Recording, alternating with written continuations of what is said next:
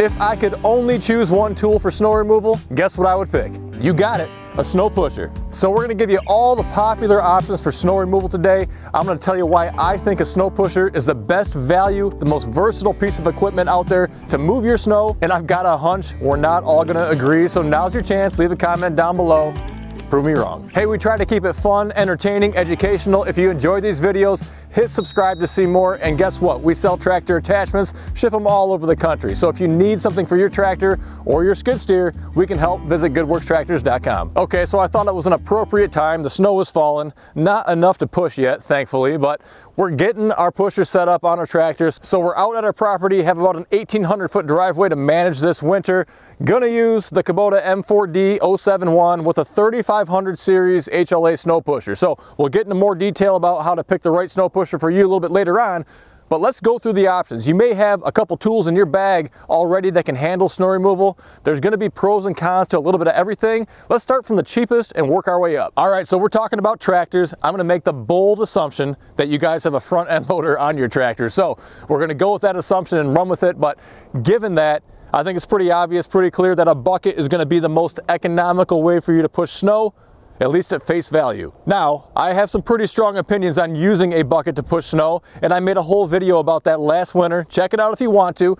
It's definitely gonna do the job, but there's gonna be some sacrifices you need to make. There could be some better ways you could equip it and outfit it if you want to minimize your cost, but it is not gonna be the most efficient tool. So in that video, we talk about some of the negatives to that as well, which are gonna be potential damage to the surface that you're plowing. Buckets are made to dig in, right? So if you're plowing your driveway, the same thing could accidentally happen. You could dig in, whether that's gravel, if it's concrete, if it's asphalt, whatever it is, and cause some unintended damage. You could also prematurely wear the corners of your bucket if you don't have a cutting edge on there. So just some other considerations to think about, not to mention the inefficiency of having to raise, lower, shake take it out, reset, and reposition. Now a few options if you are adamant on using your bucket to push snow.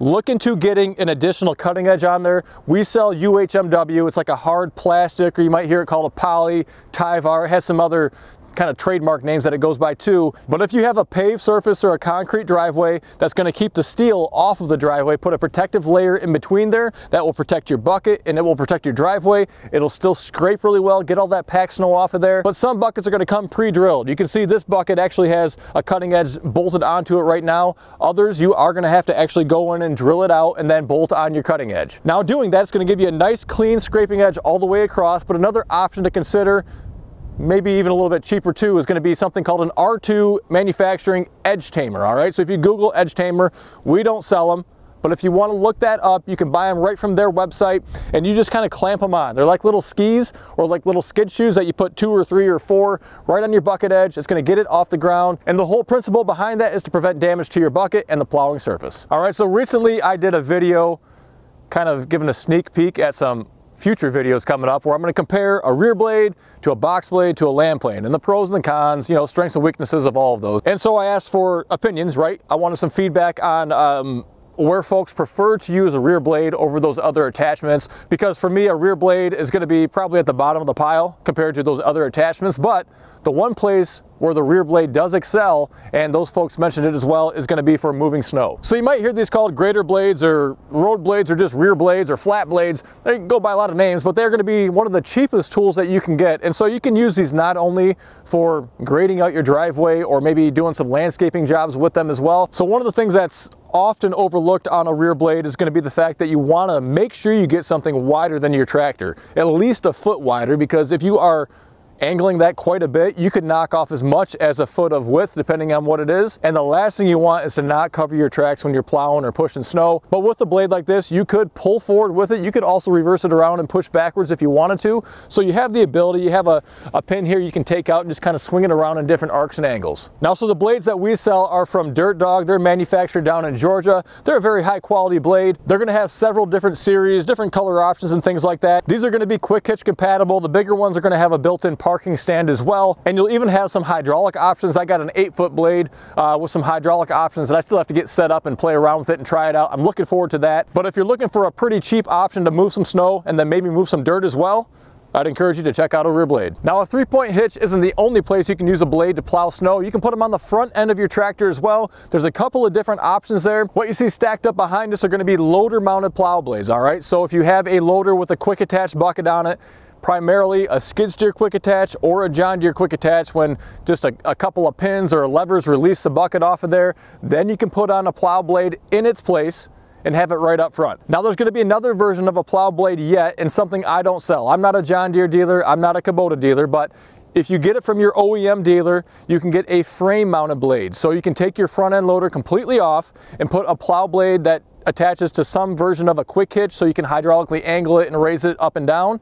Typically, you'll control that with the loader joystick that you have on your tractor. You kind of plug into those hydraulics and operate it that way. I know I've got some footage of me using one, something in a similar setup on a John Deere garden tractor, so we'll throw some B-roll up of that so you can see what we're talking about. But you have three different options of blades that you can use between mounted on the loader, the front frame of the tractor, or the three-point hitch. So no matter which blade you look at, you're gonna be able to typically get a steel edge or rubber edge. You can add on, we sell those uh, UHMW, the hard plastic strips. If you wanna drill those out and add on a hard plastic edge as well. If you're trying to find the right edge to suit your application, gravel, asphalt, concrete, Again, we did a video all about it going in depth on what the best choice for your situation is. Without going too deep into it, there's a couple other pros and cons on these front side plow blades and the loader mounted is nice because you don't have to take your whole loader assembly off, right? So if you need to get back to a set of pallet forks or to a bucket or a grapple, basically switch between attachments a lot, it's nice to not take your whole loader off, just be able to switch out the attachment. So the downside,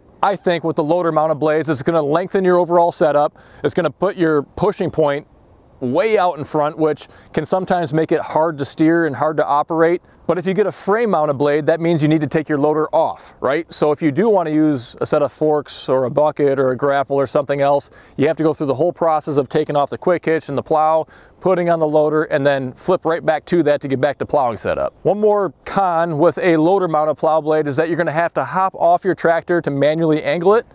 You can add on a hydraulic kit if you want to, but that's gonna drive the cost up. And then you also have to have the additional hydraulics already on your tractor to control that third function, right? You're gonna raise and lower your loader. You're gonna be able to rock it back or roll it forward. And then you need to also be able to angle it left or right. So that's three functions required there, which most tractor owners only have two. All right, it's time to talk about snow pushers, which are my favorite. I don't make any bones about it. It is what it is. Now remember, we're going from the cheapest to the most expensive, all right? So some of this could vary depending on what manufacturer you're looking at, uh, maybe what size equipment you have, what options you want to put on there, but this is just a general kind of look at cheapest to most expensive. All right, so a few reasons why the snow pusher is my favorite. Okay, so it does mount to the front end loader, which I love, all right? So it's right out in front of you, so good visibility. Um, I like the idea that there's no other connections that are required. There's no other hydraulic hookups to angle anything. It's just a box. You know, there's no electric that's on there. You just have a quick attach, skid steer or John Deere quick attach, and away you go. Why I like it over a plow is the fact that that back wall, which is doing all your main pushing, is gonna sit a lot tighter to the tractor. So you're gonna have a little bit more control to steer and to manage and to have a little bit more oomph, I guess it feels like, behind the load compared to a plow where that same flat blade there is gonna be sitting out another foot, maybe 18 inches, making it that much harder to control. So for me, I like simple, right? When it's freezing cold outside and something goes wrong, because things always go wrong, you wanna minimize those chances. So without any moving parts, all you have on here are replaceable skid runners and edges. You know, there's nothing to really break on this piece of equipment, and a box is gonna handle whatever you can throw at it. It can handle a couple inches of snow for cleanup. It can handle a foot of snow. It can handle wet, heavy snow, light, fluffy snow. It doesn't really care. The downside with I guess plows and pushers in general is you do have to have a place to put it, right?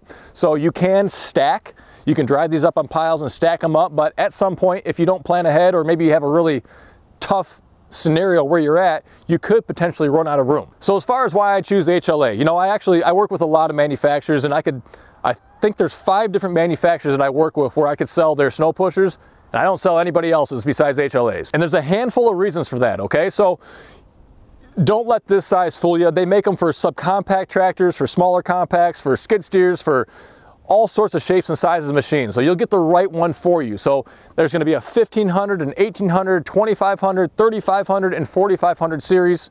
Oh wait, and a 5500 series too. But they'll have the right size for you, the right width for you, but I love their design. If you take a look down here, you're gonna see there's no cross bracing. A lot of them you're going to have a bracket or an arm that goes across from the side plate to the back plate for structural support. It's a great place to trap snow, I can tell you that. But what you might see here is a double wall panel. You can see these weld marks here. That's a second panel for reinforcement on the inside. And you're going to also notice that back wall is radiused, all right? And so that's good for a couple of things. It helps prevent snow from sticking to it. It's gonna release a lot easier. And also as you're moving forward, it's gonna kind of keep that snow rolling as you're going along, making it a lot easier on the tractor and the operator. Now, one of the awesome features of the HLA pusher is gonna be this back drag. This is I think it's 14 inches top to bottom. It's huge, okay? So if you roll this whole thing forward, then this front edge becomes your cutting edge. And so if you need to get up next to a garage door, maybe your pole barn, it could be a retaining wall, maybe you have parked cars or trailers or other equipment to just kind of pull that snow away from because you can't push it around there, a back drag is an amazing option to consider. Now for most of you subcompact and compact tractor owners, the 1500 and 1800 series are going to have a completely enclosed top, all right? They're not nearly as big, and so this back drag here actually completely closes off this gap, and there's absolutely nowhere for the snow to go. As far as I know, no other manufacturer offers an option like that, and it's one of the biggest selling points, in my opinion, of the HLA. One other cool feature that you start to see on the bigger pushers by HLA when you have a lot of weight behind the equipment is going to be a spring trip edge. So you can see the big springs on either end here. So if you do hit a hidden object or maybe you hit a curb by accident or whatever it is, you're going to have some give there, some relief so that you're not completely destroying and demolishing whatever you hit. But again, that's only on the bigger pushers. I do think it starts at the 3500 and on up. And one of the great things I love about the HLA pushers is the bolt-on features that they have. So starting back here, that's a bolted on frame and that's good for a couple of reasons. Number one, if you ever got a different piece of equipment with a different connection type. So this is a skid steer connection, but say you got a big John Deere say you got a, a Manitou telehandler like I have, something with just a different adapter plate that's required, you don't have to then go get a whole new piece of equipment. You can just buy this bolt-on plate, reuse the pusher. And you'll also see that there's gonna be some holes in this bracket up and down that allow for different mounting positions because not every loader interface is gonna be set up at the same angles. And so if your max roll and curl is not quite doing what you want it to do, you can unbolt it, reposition it, bolt it back up and, and have a better setup for you. So we talked about the back drag already, but this is a bolted on feature. So if you're kind of on the fence, yes or no about needing a back drag, or maybe you don't now, but you could in the future, that's gonna be an option that you can add on. There's gonna be pre-drilled holes throughout the edge of the pusher that you can do so. And you can see some more bolts going on down here. Your skid runners, one on the right and the left end, are both gonna be bolted on so you can adjust them up and down. So if you do not wanna have your main scraping edge scrape right along the ground, you can adjust these skid runners, just slide them down a little bit and tighten them back up. And that's gonna make your main cutting edge a little bit higher so you're not maybe knocking all your gravel off the road. And the main cutting edge is gonna be bolted on which allows you to reverse it. So if you wear down one side, you can unbolt it, rotate it around, bolt it back on, and get double the life out of that. You can also replace it, obviously, once you wear it out, so it's not an integrated edge that you'd have to have something new welded right on. And the last place that you're gonna notice bolt holes are gonna be on the back drag, all right? And so this big hunk of steel on the end, you can see where it's welded on. This is an integrated steel cutting edge, all right? So you can use just this. If you're not gonna use the back drag a whole lot, I'd encourage you, just stick with this. However, if you have a concrete or an asphalt driveway, you're gonna have some other edge options to consider. So you could bolt on a rubber edge. You could get a piece of UHMW, that hard plastic, which a lot of folks really prefer, myself included. The point being you can add on additional cutting edges and let's talk about those options right now. So the standard setups from HLA are gonna include steel or rubber for the main cutting edge down below here, all right, for any size pusher, doesn't matter which one, and then steel skid runners, all right?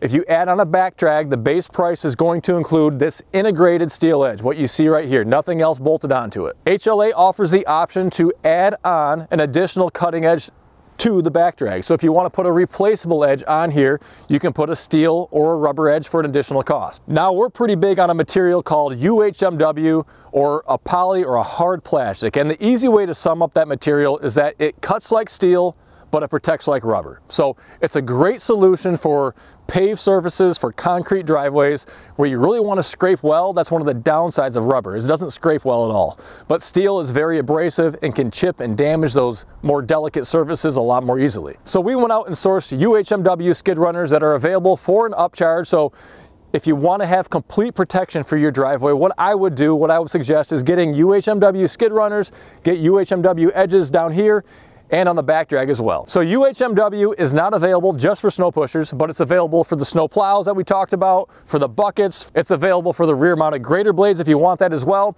We have quite a few different sizes. We can cut it to length. We don't drill the holes out, so we're not gonna drill the holes out to match up here, but just lay it on there, mark it, use it as a template, drill it out with a multi-purpose bit. Just go to the hardware store, grab some nuts, bolts, and washers, and away you go. And it's even gonna work for this next attachment we'll tell you about now. All right, so now let's talk about the top of the heap, the creme de la creme. And this is what I know a lot of you guys love, which are snow blowers. And I do enjoy them myself. And now they make snow blowers for the back end of a tractor and for the front end. And I think the front end with a cab is just the cat's meow, but there's some limitations there. And again, for me, I use my tractor year round. I use all my equipment year round. And to slap on a front frame mounted snow blower, take your whole front end loader off of there, is just way too inconvenient for me if I need to switch back over to using the front end loader with one of those other attachments. That's just not in the cards for me. However, there are a couple of three point mounted options that you can get. You can get a traditional drive backwards type of snowblower, which is going to be the cheapest